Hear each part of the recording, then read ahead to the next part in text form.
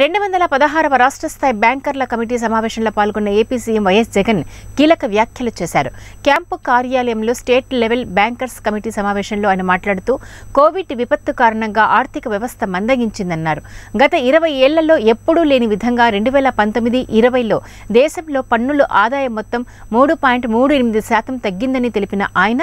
దేశ జీడీపీ వృద్ధి రేటు ఏడు పాయింట్ రెండు ఐదు శాతం మేర పడిపోయిందని మొదటి త్రైమాసికంలో ఏకంగా ఇరవై నాలుగు పాయింట్ నాలుగు మూడు శాతం మేర జీడీపీ వృద్ధి రేటు పడిపోయిందని రెండు వేల ఇరవై ఇరవై ఒకటిలో దేశ జీడీపీ ఏడు పాయింట్ రెండు ఐదు శాతం మేర తగ్గితే ఏపీలో రెండు పాయింట్ ఐదు ఎనిమిది శాతానికి పరిమితమైందన్నారు. ఇందులో కీలక పాత్ర పోషించిన బ్యాంకర్లకు అభినందనలు తెలియజేశారు. సీఎం వైఎస్ జగన్ రాష్ట్రంలో గతేడాది ఇదే పీరియడ్తో పోలిస్తే టర్మ్ రుణాలు మూడు వేల రెండు వందల ముప్పై ఏడు కోట్లు తక్కువగా నమోదయ్యాయని వెల్లడించిన ఆయన వ్యవసాయ రంగానికి ఒకటి పాయింట్ మూడు రెండు శాతం తక్కువగా రుణ పంపిణీ చేశారు. పంట రుణాలు మాత్రం పది పాయింట్ నాలుగు తొమ్మిది శాతం అధికంగా ఇచ్చినట్లు కనిపించడం సంతోషదాయకమన్నారు ఇక కౌలు రైతులకు రుణాలపై ప్రత్యేక దృష్టి పెట్టాలని బ్యాంకర్లకు సూచించారు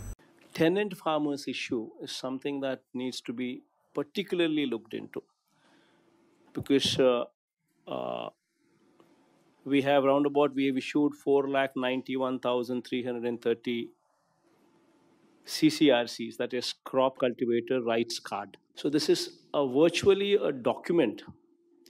uh, given to these 4 lakh 91,330 uh, CCRCs literally giving them the card and and also linking it to their e-crop data where they, these people are doing the agricultural activity what is the survey number where exactly is the survey number linking it to the rb case and through the rb case linking it to the e-cropping through e-cropping linking it to the ccrcs so these particular tenant farmers are real farmers. I mean, literally, they are uh, authenticated by these cards given, also justified by e-crop listing, e-crop examination, e-crop uh, confirmation, and then the data is uh, given in the form of uh, these crop cultivator right cards. And in these particular cases, if banks come forward, literally, to support these real tenant farmers,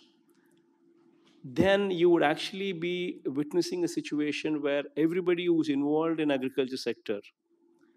is actually getting a term, is actually getting a crop loan.